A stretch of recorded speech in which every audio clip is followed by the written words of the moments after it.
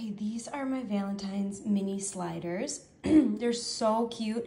This is pre-seasoned meat. So the meat's already seasoned. I just take a cookie cutter to get the heart shape. So I take my little cookie cutter, I take my sliced cheese, and look how cute these are. So this is how I get them to be the cutest sliced cheeses in the entire world. Aren't they fun? And you, you really wanna, I could have gotten four out of this one for sure.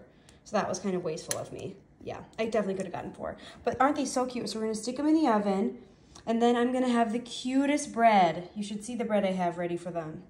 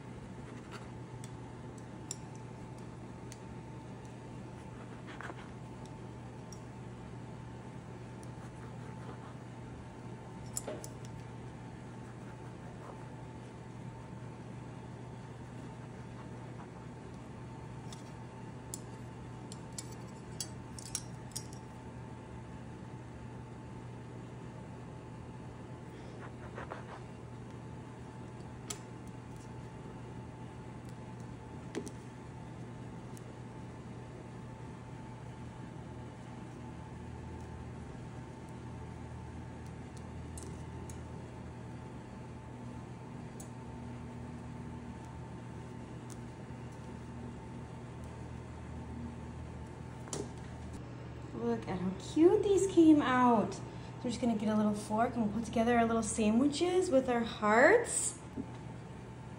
So we just take it out with our fork. Okay, are you kidding me? Are you actually kidding me? so cute! What do you think another good one is? I think this one looks pretty good. Are you serious? For serious? Wow. Wow, wow, wow. Oh, I like this one too. Like, look how cute the hearts are.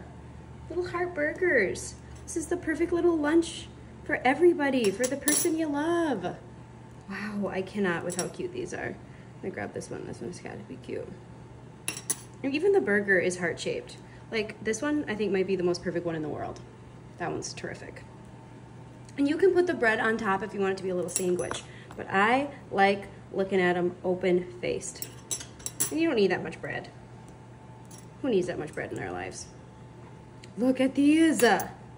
Cute. Okay, last one I'm to pick. I think this one. I love them. Sincerely, I think these might be the cutest things I've ever created in my entire life. Heart burgers. I love them. So cute.